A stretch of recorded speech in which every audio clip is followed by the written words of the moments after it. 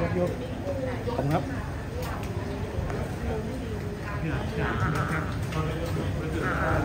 การการกู้เรือสุโขทัยผมเคยตอบกรรมธิการ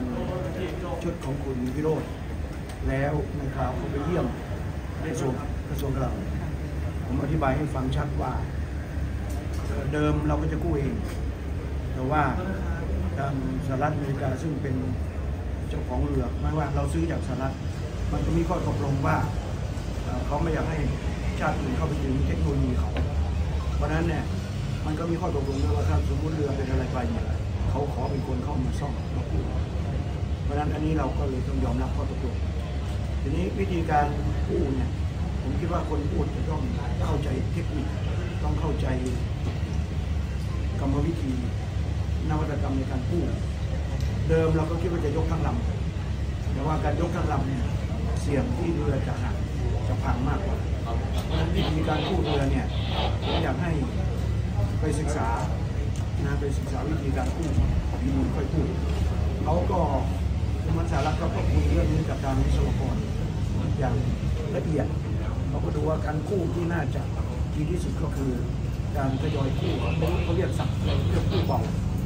นั่นก็คือเขาจะลงใบถ่ายรูปอะไรแล้วทั้งหมด นะลงถ่ายรูปเก็บหลักฐานเรียบร้อยก่อน แล้วก็ทยอย เช่นว่าเขาจะดูที่ศพก่อนถ้ามีซากศพเขาก็จะเอาซากศพขึ้นมาก่อนถัดจากนั้นค่อยเอาเรื่องเทคโนโลยีเอาอาวุธของเขาขึ้นมา แล้วก็ค่อยเอาเรือขึ้นมา แล้วเขาบอกด้วยซ้ำว่าการกู้โดยการยกทั้งลำในหลายประเทศเคยทำแล้วเรายิ่งจะทำให้เสียตานี่การล้มประมูล การล้มประมูลมันก็เกิดเหตุจากว่าหนึ่งคือข้อตกลงอะไร เราฝืนข้อตกลงเราไม่ได้อันที่สองเนี่ยเราประหยัดงบประมาณทางสหรัฐเขาใช้งบประมาณของเขามากู้เราก็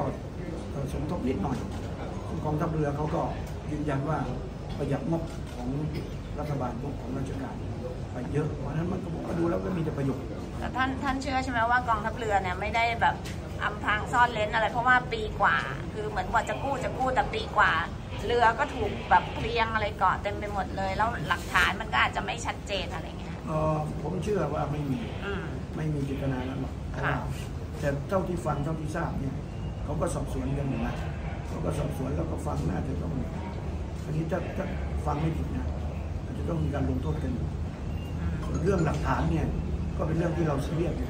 เราก็กำชับประธานสหรัฐอเมริกาว่า เอ่อเราจะกู้วิธีไหนก็แล้วแต่ แต่เรื่องหลักฐานทางคดี คุณต้องไม่ทำให้เสีย เขาก็ยืนยันวันนั้นนี่กระบวนการวันแรกเลยที่เขาลงไปคือการไปถ่ายรูปเก็บหลักฐานบันทึกไว้ทั้งหมดแล้วมันตีอันนี้น่าจะมองแล้วน่าจะเป็นประโยชน์มากกว่าเป็นโทษ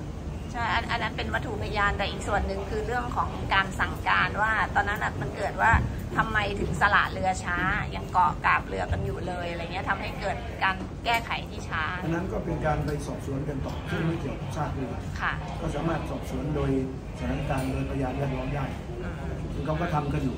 ค่ะผมฟังล่าสุดแล้วทางบกตรก็บอกผมว่าในเรื่องคดีไม่มีการยุติหรือผิดไปกับการกู้เรือง่ายๆเพราะฉะนั้นน่าจะมีคนต้องรับผิด